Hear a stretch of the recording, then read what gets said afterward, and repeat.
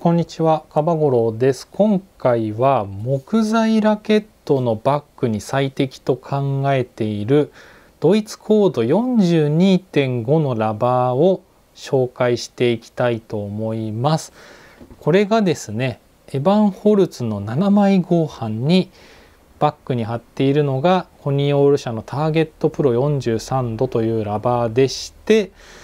私が思うにはこのエヴァンホルツの7枚とかエヴァンホルツの5枚とか、まあ、オールランドエボリューションとか持ってたこともあるんですけれどもそれにこの43度のターゲットプロを貼ると、まあ、ちょうどいい塩梅かなという感じがしていました。で以前の動画とか他の動画で上げてるんですけれども今愛用してるのがバタフライのインナーフォース ALC という特殊素材インナー系のラケットでしてこれに43度貼っちゃうとちょっと硬くて扱いにくいしコントロール効かないかなっていうことで40度まで下げてヘキサーの、えー、ヘキサーグリップ SFX を使っているといった感じなんですけど木材だったらね42.5でとか43ぐらいでもいいんじゃないかなっていうことで私もですねその特殊素材結構気に入ってはいるんですけれどもやっぱりなんかいつも同じようなあのパンって打った時にオーバーミスしちゃったりとかなんかそのバックハンドの落ち着きのなさっていうのをなんか自分でやらかしてしまうたびにやっぱりもう7枚ぐらいに戻った方がいいのかなとかって、ま、思うことがあって、まあ、じゃあその時にこの42.5のドイツコードのラバーってどんなのがあるかなっていうのを改めて調べてみたといった感じですので、まあ、よかったらお付き合いいただけると嬉しいです。他の動画ですとね、えっと、ドイツコード40度未満の超柔らかいラバー6000というラバーをその1とその2とですね2本立てでお送りしている動画なんかもありますしまたそのもっと全般的にですねバック向けの柔らかいラバーを紹介といったラバーなんかあの動画なんかもありますので概要欄にリンク貼っておきますのでよかったらえー、ご覧いただけると嬉しいです。はい。というわけで前置きがなくなりましたが早速始めていきたいと思います。まずはですねドイツのドニック社からいきたいと思います。6つありますね。ドニック社多いですね。1つずついきたいと思います。1つはですねブルーストーム Z3、えー、そしてブルーストームビッグスラム、えー、そしてブルーグリップ S2、えー、そしてアクーダ S2、えー、コッパ X2、えー、そしてバラクーダビッグスラムこの6つになります。ドイツコードは42.5度なんですけれどもこの6つのうち1つだけバラクーダビッグスラムは43.5度といったコードになりますが一応入れさせてもらいました。はい私はこの中でブルーストーム Z3 だけは何ヶ月か使ってたことがあります。新品で購入してエヴァンホルツの5枚に貼って使ってましたけれども、えっと、買う前にそのレビューとかいろいろ調べてミートもドライブも両方いける使いやすいラバーだってことで買ってみたらその通り普通に使いやすいラバーだったので結構気に入ってました。はい、といった感じであと前回の40度未満のラバーその2っていうのでアクーダの S3 とコッパ X3 っていうのが37.5度というドイツコードの中でこれはその S2 と X2 っていうあれなんですけれども、まあ、その回転のアクーダと直線のコッパってことで、まあ、このアクーダっていうのも個人的には結構気になってるかなっていうふうに思ったりっていう感じですかね。うんあとそのブルーグリップっていうのは、まあ、いわゆる微粘着系のテンションってことで、まあ、なんか柔らかいモデルも用意されてるんだけどやっぱその粘着っていうのは硬いからいいんじゃないのっていうふうに思ってるところもあなんかよく言うじゃないですか。思うんでまあどうなのかなあの表記されてるコードよりも意外と硬く感じたりするとかあるのかなっていった点ではなんかこの中この6つの中ではちょっとうん最初に手を出すラバーではないかなという気はしてますね。あとバラクーダビッグスラムって全く知らなかったんですけどバラクーダっていうラバーがあって、まあ、なんかそのビッグスラムっていうラバーが柔らかいらしいんですけれどもなんか意外と商品の説明とか読んでみると意外と使ってみたくなるような、えっと、感じでちょっと気になりましたね。よかったらあの調べてみてください。はい。ということで次のメーカーいきますね。えー、ドイツの同じくティバー社なんですけど4つあります。1つがエボリューションの FXS。えー、次がクアンタム X プロソフトえー、そしてクレイジーブル最後がラピッドの4つになります。エボリューション FXS は、えー、コード表記が41から43というコード表記になっているので、まあ、一応間の42とか42.5に入れていいかなってことで入れてあります。でカンタム X プロソフトっていうのは最近そのカラーラバーが出てきた中で T バー社がカラーラバー出してるラバーになりますよね。ということで私の周りでもそのカラーにしてる人がこのカンタム X プロソフトを使われてるって方を何人か見たことがあります。普通にいい球飛んでたなっていう印象でした。で、クレイジーブルーのことはちょっとわからないですね。で、ラピッドっていうラバーもちょっとわかんないです。で前回の動画で、その、ドイツコード40度切ってるラバーを紹介っていうのの第2弾で T バー社のラピッドソフトっていうのが35度っていうのが、まあ、あったんですけど、まラピッドっていうぐらいですからやっぱり速さを求めてるラバーなのかなっていう感じがしますかね。うん、だからカンタム X プロソフトなんかもカラーラバー出してるぐらいだから、まあ、バック向けっていう一応ラバーのつもりなのか、まあ、からないですけれどもこの中でだから一番回転系っていう意味ではやっぱエボリューションなのかなっていう気がしてるかなといった感じで、まあ、その回転とミート両方行きたいとかっていう間行くんだったらカンタムエクスプロソフトとかになってくるのかなっていう気がしますね。ちょっとクレイジーブルーのことはごめんなさい調査不足で全くわからないんですけれどもなんかあの何、でしょうお数詞の絵が描いてあるパッケージから見るに結構暴れる感じなんでしょうかね。うんちょっと気になるんですけど、ちょっとわからないんで次行きたいと思います。続いてはヨーラになります。ヨーラも4つです。えー、リズム425、リズム425と、えー、ダイナライズ CMD とライザー43、そして MaxP の4つになります。ライザー43は43度だと思うんですけれども、一応入れさせていただきました。で、リズム425なんですけど、まあ、この商品名の通り42.5度って感じですね。であの40度未満のその2動画でリズム375っていう37.5度っていうのとあのあるってことで、まあ、柔らかくて使いやすくてもリズムで打ちましょうみたいな感じなのかどうなのかわからないんですけれども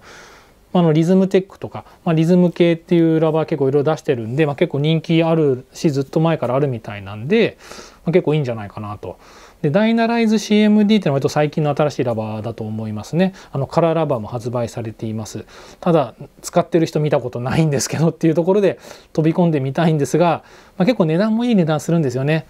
まあ、そういったあたりで、まあ、なかなか手つけにくいかなと。でライザー43っていうのは、まあ、いわゆる今ヨーラのラバーってライゼンとかそのダイナライズっていうまた名前に変えてきちゃった中でちょっとあの過去のラバーになりつつはあるんですけどもともとその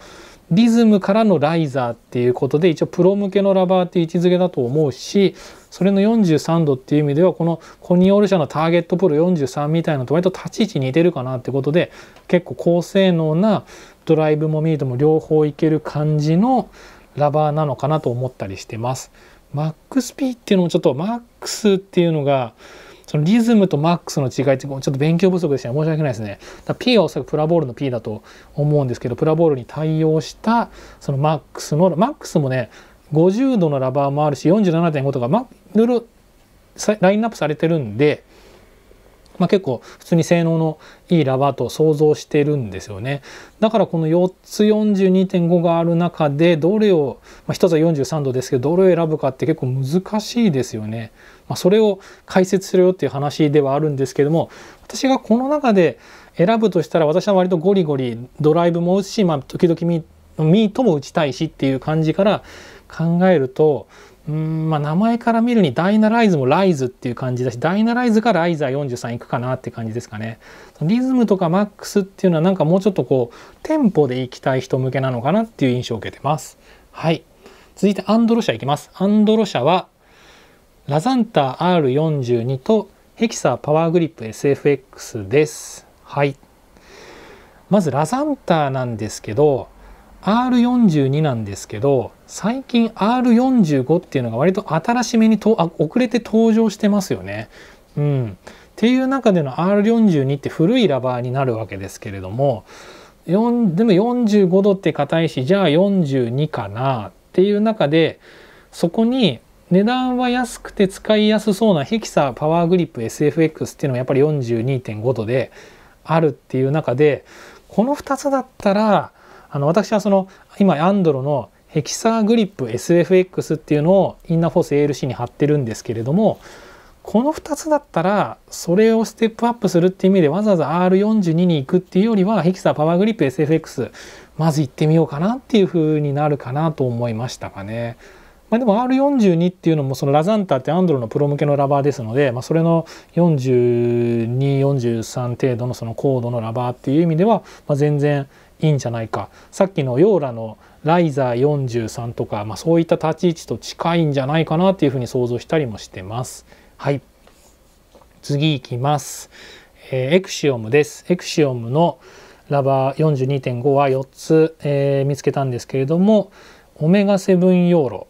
オメガ6ヨーロベガアジア DF ベガヨーロッパの4つになります。えっ、とエクシオムのラバーまだ1回も使ったことないんでちょっとコメントがしづらいんですけどベガよりも高性能というかハイエンドなラバーがオメガというふうに理解してるんですけれどもでオメガ7ヨーロとオメガ6ヨーロってことで、まあ、この2つだったらまあ値段も違うでしょうけどオメガ7ヨーロかなと。でベガージア DF っていうのは当然 DF ですからディフェンダー向けのラバーなんで、まあ、ドライブマン向けはま関係ないかなと。でベガヨーロッパっていうのは、まあ、多分このオメガよりも値段が安いんだろうなと想像するんですけどでベガヨーロッパ多分ヨーロッパ選手系のなんかってことで、まあ、これはね使い柔らかくて使いやすいあのどっちもできるラバーっていう意味では、まあ、この中だったらまあオメガヨーロッパ行くかなっていう、うんまあ、値段と相談っていう感じですかねそれかオメガ7ヨーロかなっていう感じですかね。バタフライいきます。バタフライはテナジーの FX 系全部と、えー、ラウンデルソフトが42.5度と思われます。はい。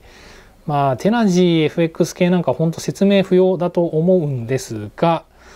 はい058064あと何がだっけ？25とか19とかもありますよね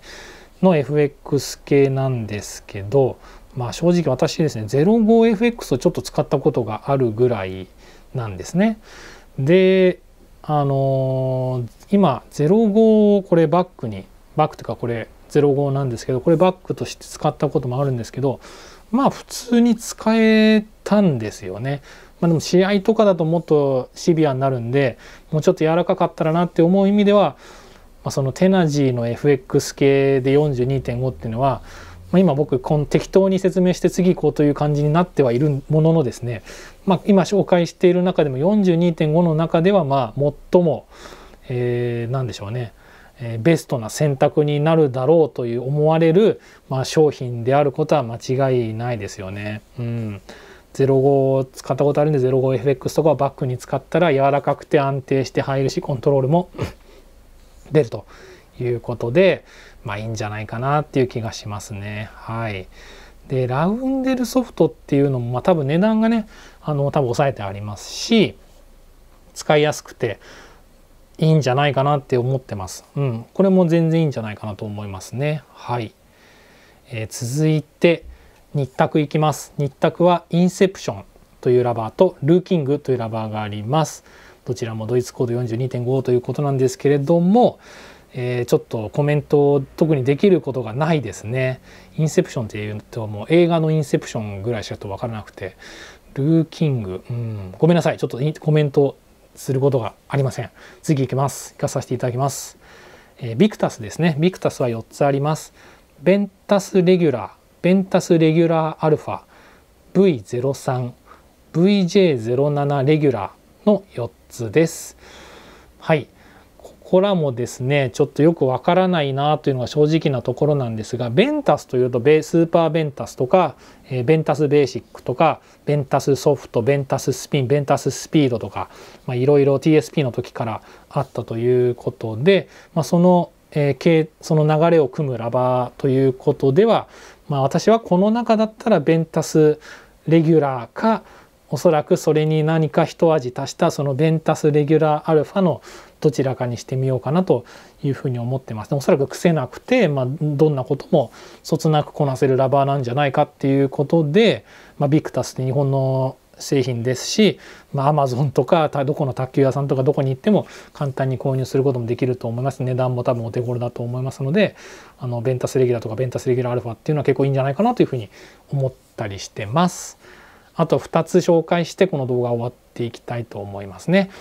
八坂です。八坂はラクザセブンソフトです。ラクザセブンソフトのドイツコード表記が37から42とありますのでこの42.5度のカテゴリーに入れさせていただきました。えっと、ラクザセブンソフトっていうラバーがなんか結構前からあるラバーなんだけどすごく評判がいいっていうラバーですよね。それのソフト版っていうのがラクザセブンソフトなんだけどなんか口コミとか見てるとラクザセブンソフトとラクザセブンっていうのは、まあ、どうも別物と言っていいぐらいのものらしい。ただまあ、八坂の作ってるラバーっていうのも基本なんかそういうそんな癖のあるものではなくて特にラクザセブンっていうのがすごい評判いいですから私の周りでも使ってる人結構いますんで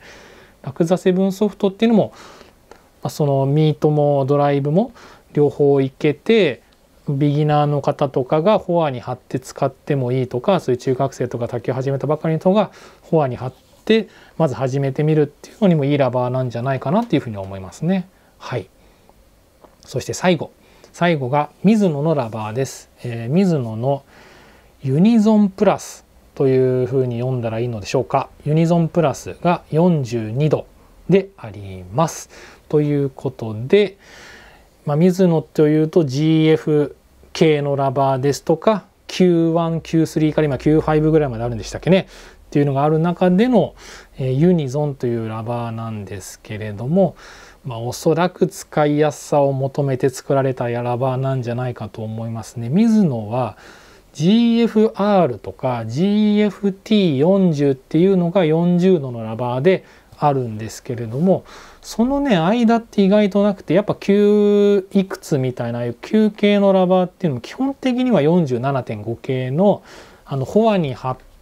ていく感じのラバーが多い印象ですからまあ、意外とこの42.5のラバーがですねなくてこのユニゾンというものだけなんですけれどもっていう中でどんな、えー、なんでしょうね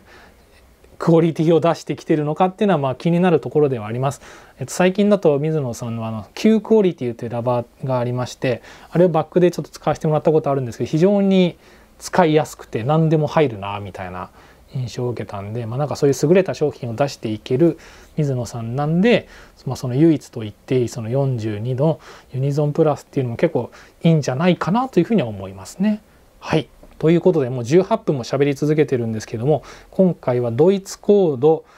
42.5度のラバーだけを各メーカー紹介させていただきました。えっと、もうこれだけ動画の尺が長くなってしまったように42.5となるとやっぱりいっぱいありますね。いっぱいあるからどれ選んでいいかわからない。まあ、42.5ともなってくるとバックにも貼ってももう十分女性のプロとか、まあ、なんなら男性のプロもいると思うしそれこそ、えー、女性のプロと、まあ、男性はさすがにいないかもしれないけどもフォアにもバックにもどっちにもそのハイエンドとして存在できるぐらいにもなってくるのがやっぱ42.5度っていうやっぱ最低ラインとしてそれぐらいからもあるなっていう感じするんでこれだけのたくさんの商品のラインナップあるんだなという感じですよね。はい。何か気になったのありますかね？皆様はどうでしょうか？私はこのコニオールのターゲットプロ43度っていうのが本当に好きでしてで、まあ、値段6,000円ぐらいするんですけど耐久性もあって1年ぐらい使っても意外と全然大丈夫ですし、えっと、そう寿命が長くてだから意外とコスパがいいっていうことで気に入ってるラバーなんですけどそうですね。42で木材だからなんとか使えるんですけどやっぱり特殊素材だとちょっと硬く感じてくるというか操作性が難しくなってくるっていう中でこんだけたくさんあるとやっぱ使いやすいものと使いにくいけど、まあ、性能はあっても使いにくいっていうものもやっぱあるんじゃないかなというふうには、まあ、思うんですよね。うんという中でやっぱ木材にバッグとなるとやっぱ木材自体がその特殊素材よりも簡単に威力が出せるというわけではない以上その回転とスピードの両方そのラバーの性能で補っていけることが理想的っていうふうに思うかなと私は思ってます。っていうふうに考えると、まあ、大雑把に言っちゃうとテナジーの FX 系とかこの今紹介した中だとそういうのとか、えっと、そういうエボリューションとか、まあ、ブルーストームですとかやっぱなんかこうハイエンド系に近いのをバッグに貼れるとやっぱその木木材のしなりプラスラバーの高性能さで高い威力を持ったボールを、うん、出していけるっていうのが一つ、まあ、理想なのかなというふうに思ったといった感じですね。はいというわけで今回長くなりましたけれども最後までお付き合いいただきましてありがとうございました。今回はドイツコード42.5度のラバーだけを紹介させていただきました。今回の動画は以上になります。最後までご視聴いただきましてありがとうございました。